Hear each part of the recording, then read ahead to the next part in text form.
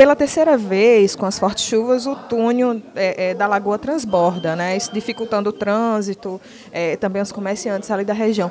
A prefeitura se pronunciou e irá começar uma obra para drenagem ali. Isso não já fazia parte da, da, da obra da lagoa? Olha, isso é bom que fique bem claro que não é o túnel da lagoa que está quebrado, não é o túnel da lagoa que, que rompeu, como a oposição procura colocar aqui na casa.